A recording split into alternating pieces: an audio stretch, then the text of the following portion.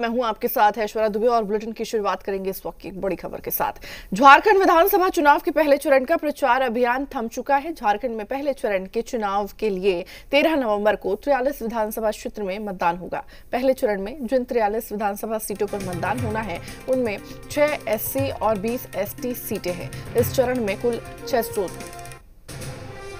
तिरासी प्रत्याशियों के भाग्य का फैसला होना है।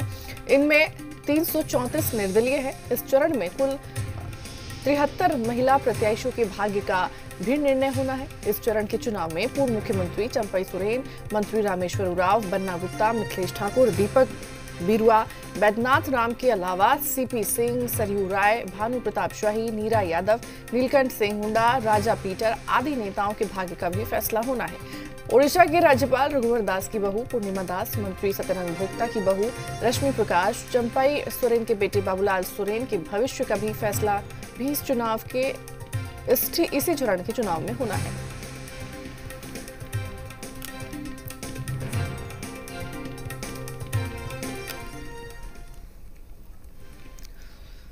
झारखंड में पहले चरण के चुनाव के लिए 13 नवंबर को तिरालीस विधानसभा क्षेत्र में मतदान होगा। इन सीटों पर 13 नवंबर को सुबह सात बजे से मतदान होगा। कुछ संवेदनशील बूथों को छोड़कर ज़्यादातर बूथों पर शाम पाँच बजे तक मतदान होगा, जिसके लिए तैयारियाँ भी पूरी हो चुकी है। 13 नवंबर को होने वाले इस पहले चरण की वोटिंग के लिए पोलिंग पार्टियों को मतदान केंद्रों की तरफ़ रवाना किया जा चुका है। सभी नक्सल प्रभावित इलाकों में मतदान कर्मियों की हेली ड्रॉपिंग कराई जा रही है। वही नक्सल प्रभावित इलाकों में सुरक्षा के पुख्ता इंतज़ाम किए गए हैं। ताकि मतदान प्रक्रिया सुरक्षित और सुचारू रूप से संपन्न हो सके। इस चरण में हाई प्रोफ़ाइल सीटों में सरायकेला, रांची, जमशेदपुर, पश्चिम जगन्नाथपुर और जमशेदपुर पूर्व शामिल है।